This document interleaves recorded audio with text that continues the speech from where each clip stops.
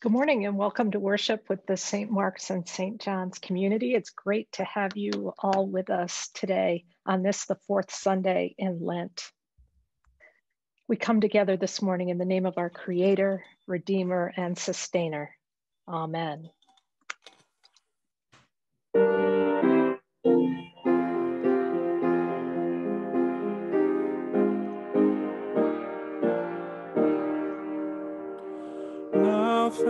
We all our God with heart and hands and voices, who wondrous things hath done, in whom his world rejoices, who from our mother's arms has blessed us on our way countless gifts of love, and still is ours today. All praise and thanks to God,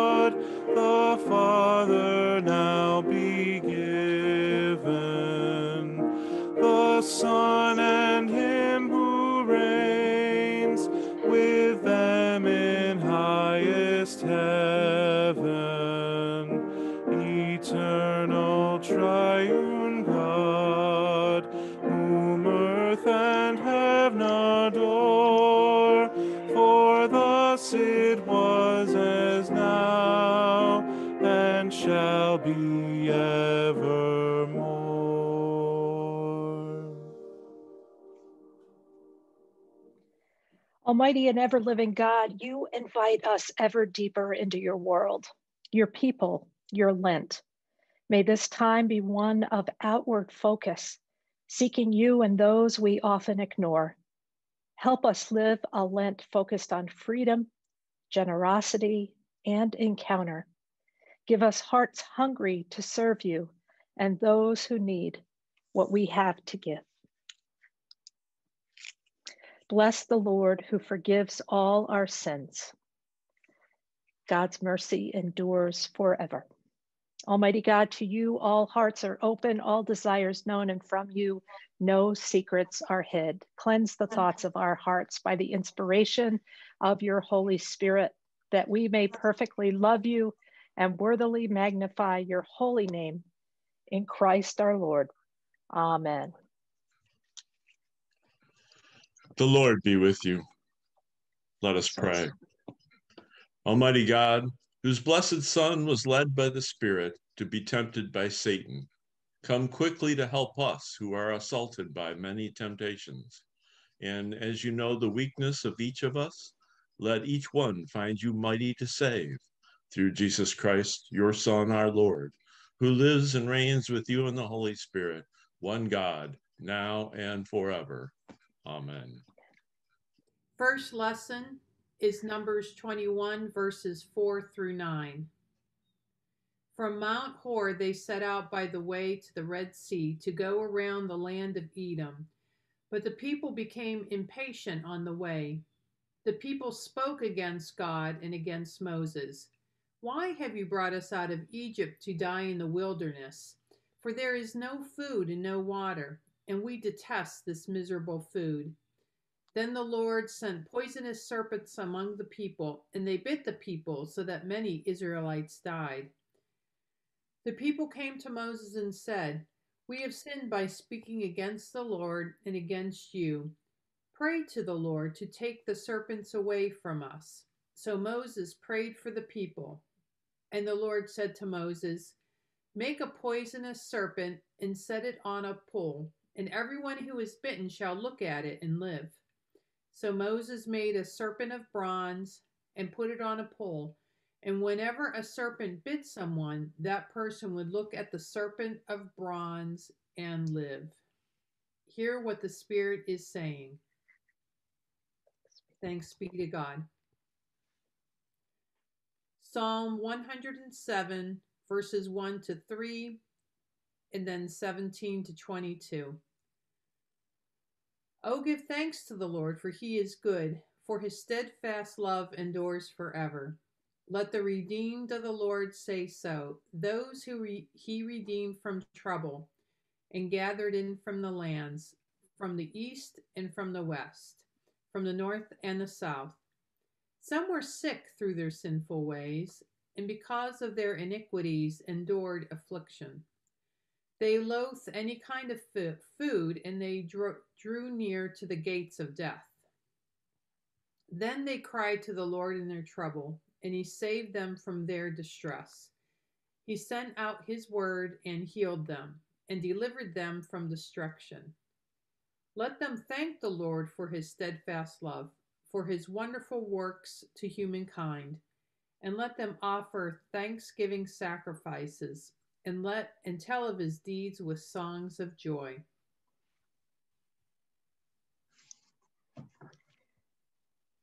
The second lessons, Ephesians chapter 2, verses 1 through 10. You were dead through the trespasses and sins in which you once lived, following the course of this world, following the ruler of the power of the air, the spirit that is now at work among those of us who are disobedient. All of us once lived among them in the passions of the, our flesh, following the desires of flesh and senses, and we were by nature children of wrath like everyone else.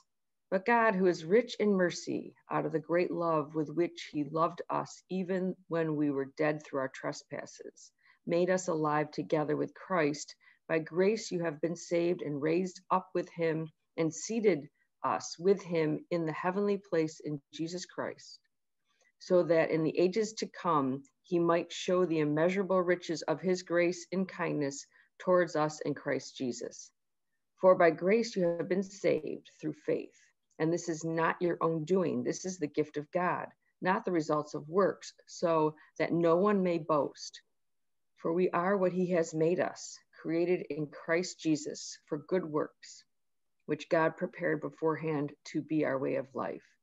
Hear what the Spirit is saying.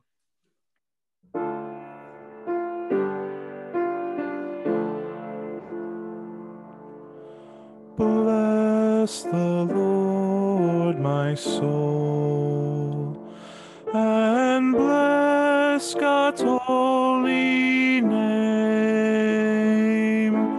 Bless the Lord, my soul,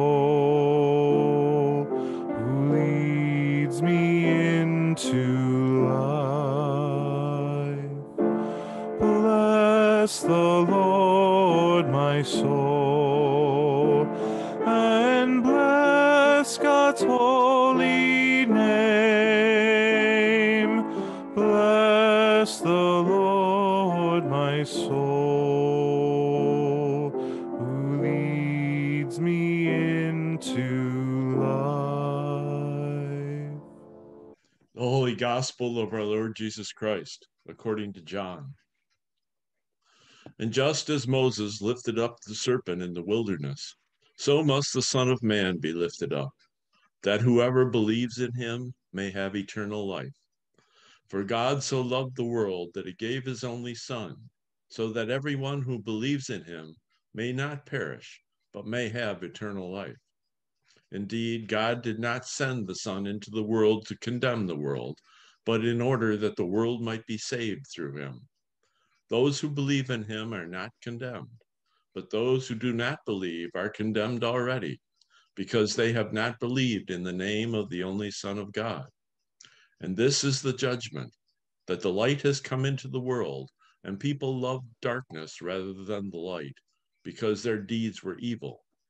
For all who do evil hate the light, and do not come to the light, so that their deeds may not be exposed.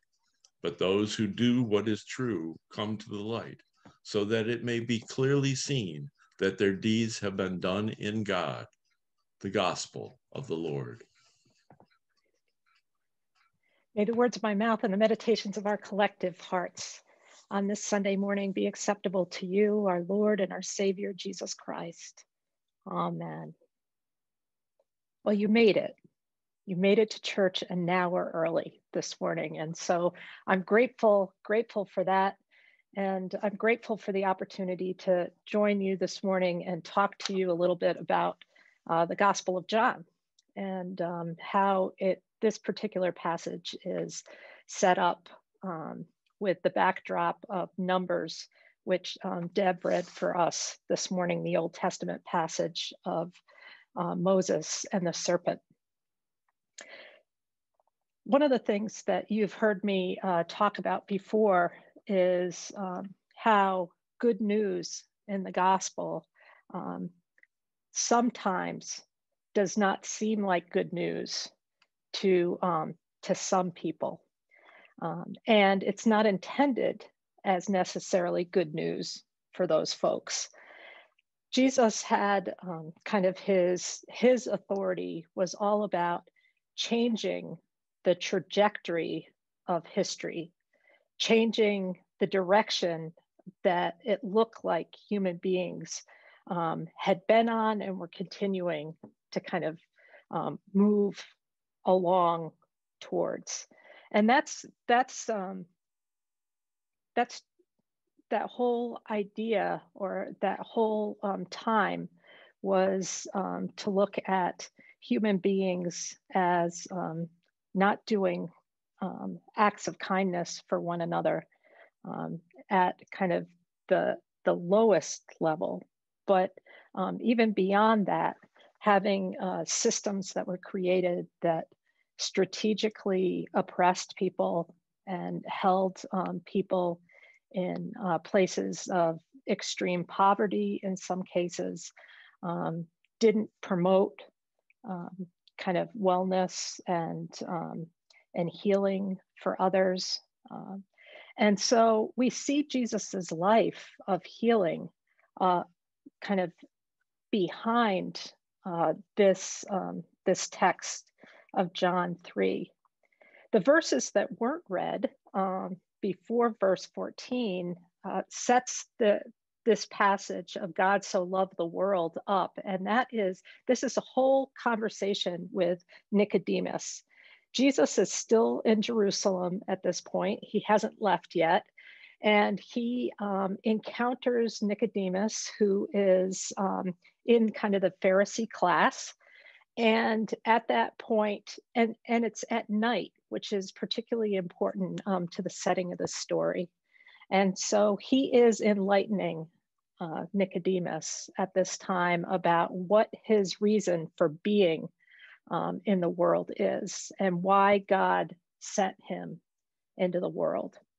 And so if you were a person listening to john's gospel and you were in the kind of down and out group if you weren't a Sadducee, if you weren't a Pharisee, if you weren't um, one of those religious leaders or leaders in the um, Roman Empire, um, and you were listening to this text, um, that was good news for you. It was good news. It was light in your darkness because that's who Jesus came to save.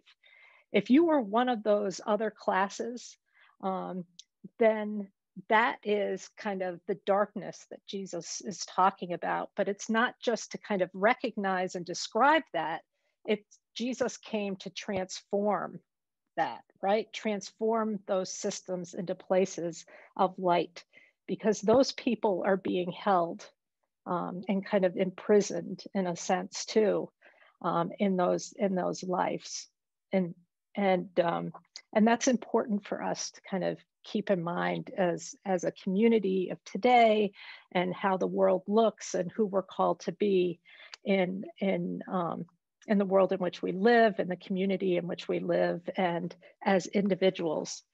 One of the things that, um, a, co- a couple more things. One is um, that kind of the saying of, are we human beings on a spiritual journey or are we spiritual beings on a human journey? Let me repeat that. Are we human beings on a spiritual journey or are we spiritual beings on a human journey? If we have the light of Christ, which I believe we all do within us, then we can live our lives as spiritual beings that just happen to be on a human journey, right? Because we have the capacity within ourselves um, because of the gifts that God has given us already and continues to give us to shine that light.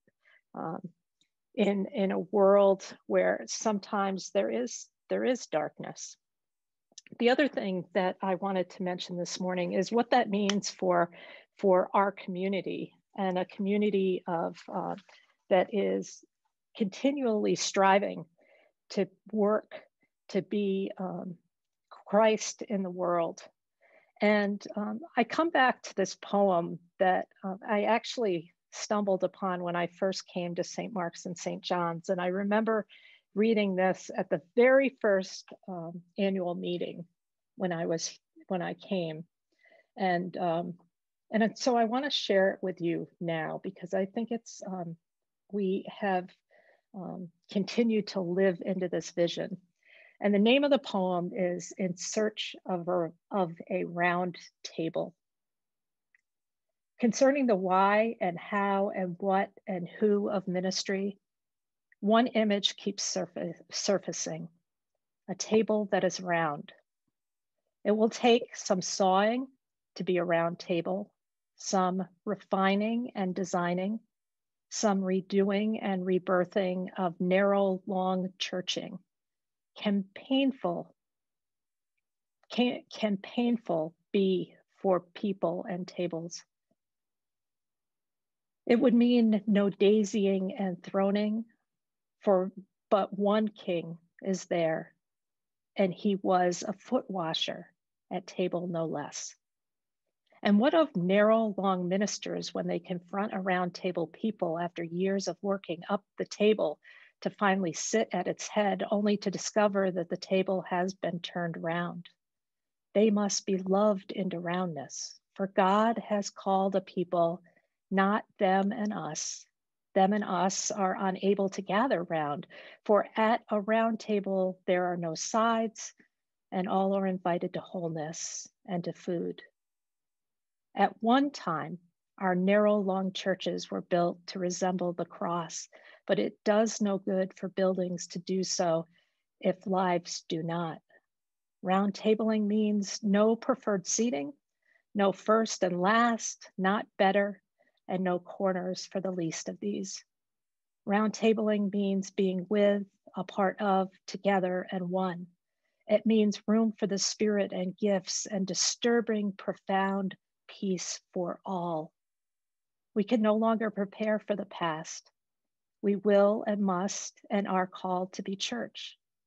And if he calls for other than round table, we are bound to follow, leaving the sawdust and chips designed and redesigned behind in search of and in presence of the kingdom that is his and not ours. In search of a round table. Amen.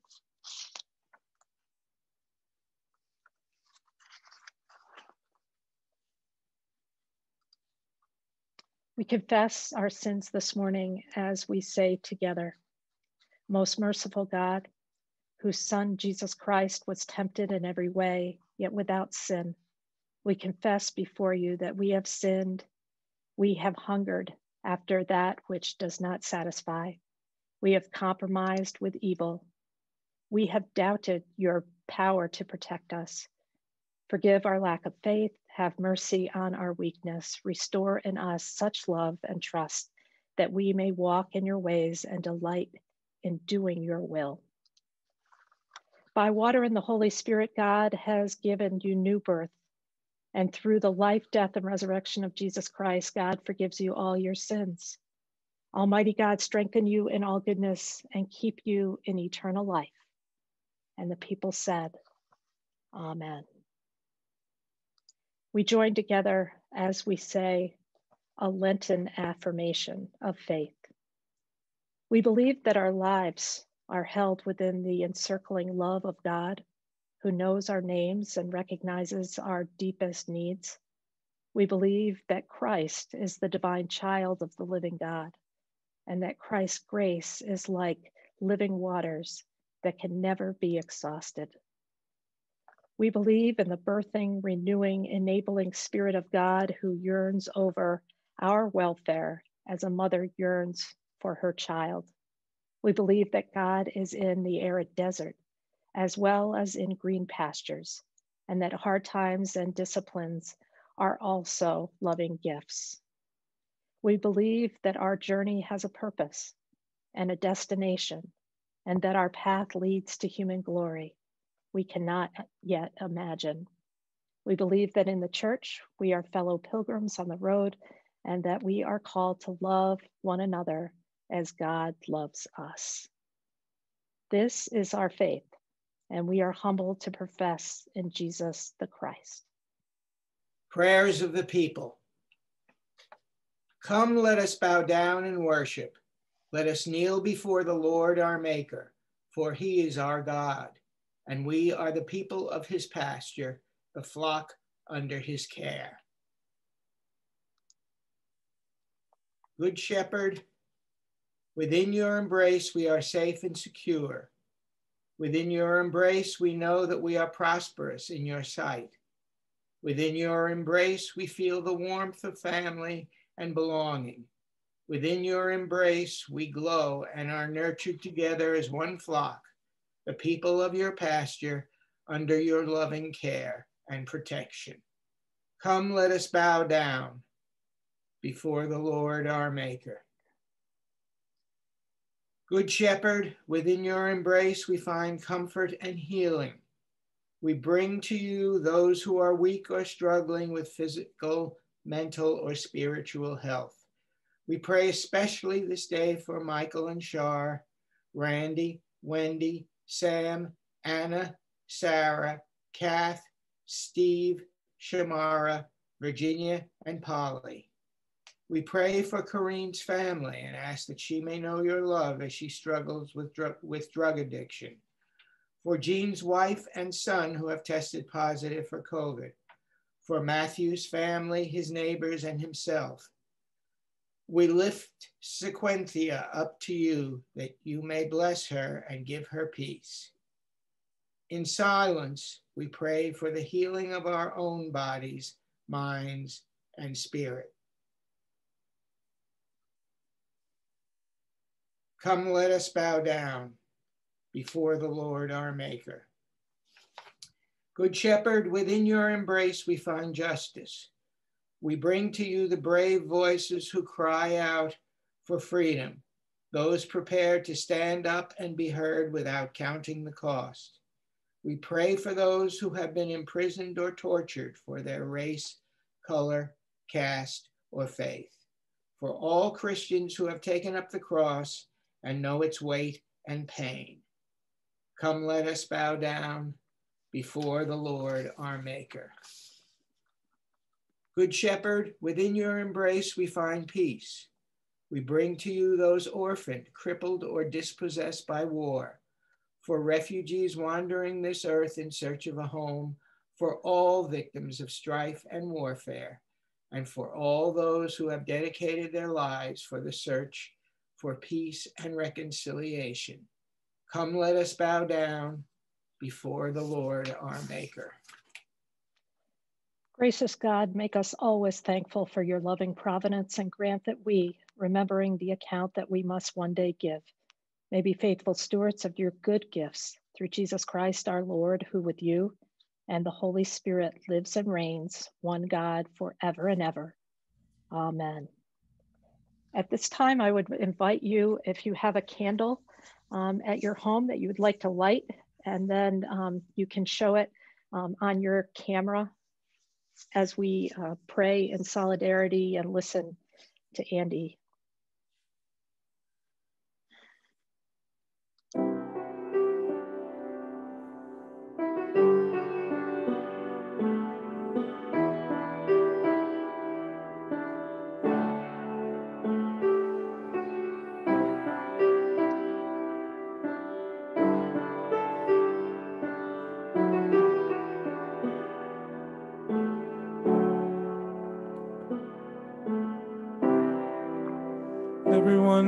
Compassion, a love that's never failing. Let mercy fall on me. Everyone needs forgiveness, the kindness of a Savior. the hope of nations, the hope of nations,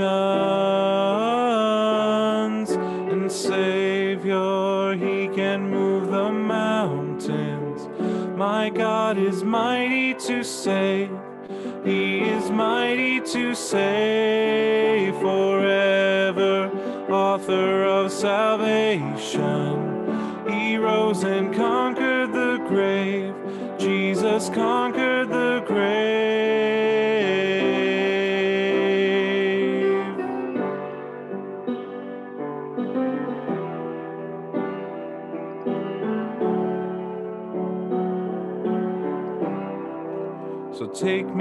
As you find me, all my fears and failures, and fill my life again. I give my life to follow everything I believe in. Now I surrender. Yes, I surrender.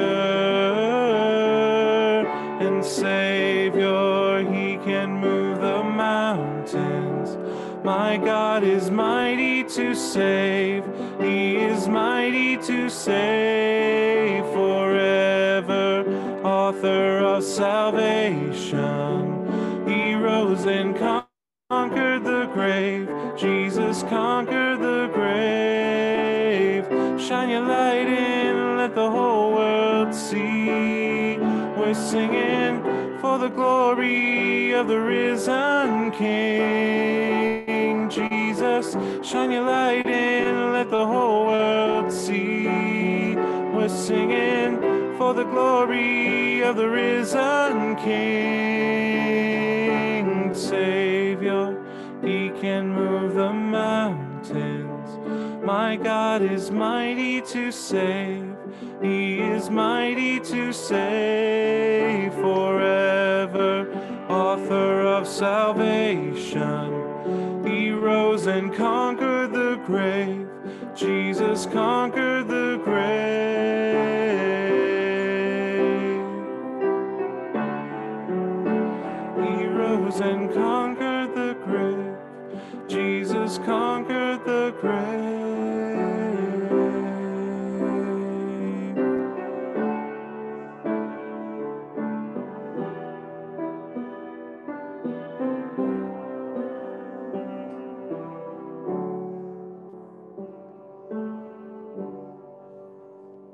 peace of the Lord be with you always. I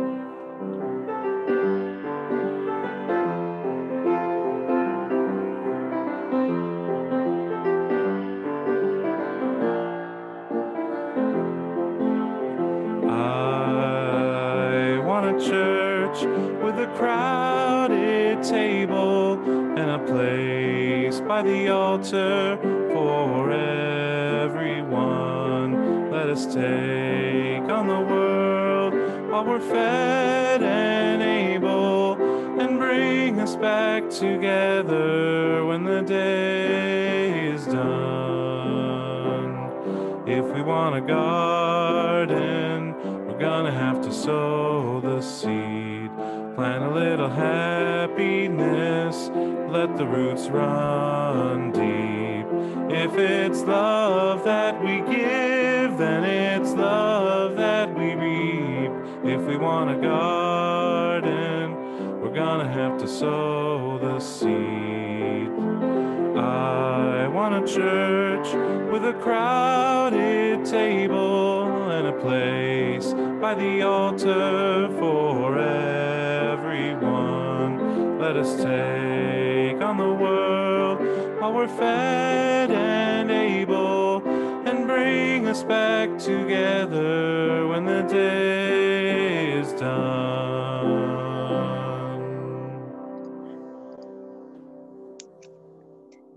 Blessed are you, O God, creator of all things. By your power and love, you continue to deliver your people from bondage. Thwart the designs of evil, show the way through the wilderness, turn hardship into righteousness, and reveal your hand upholding the just. You came among us to feed and heal and teach. to confound the haughty, to challenge the wrong hearted, and in all these things to give hope to those who long for peace. You give us words when we have none. You fill us with vision when we have the most need. You give us voice to proclaim our faith in every hour. Be our guide and teacher today and always. We pray together the prayer that Jesus taught us as we say, Our Father in heaven, hallowed be your name. Your kingdom come, your will be done on earth as it is in heaven. Give us today our daily bread. Forgive us our sins as we forgive those who sin against us. Lead us not into temptation, but deliver us from evil. For the kingdom, the power, and the glory are yours, now and forever. Amen. May you never become cynical and may you never become jaded. May you never lose heart and may you never lose faith. May you see light and good in everyone. May you remain open to the wonder and mystery of life. May you stand firm in the assault of the powers, shielded with the wisdom of God and a good sense of humor. And may you stay rooted in hope. And the wisdom, love, and grace of God strengthen you to be God's hands and heart in this world of ours. And the blessing of God Almighty, our Creator, Redeemer, and Sustainer, stay with you on this Sunday morning and remain with you always.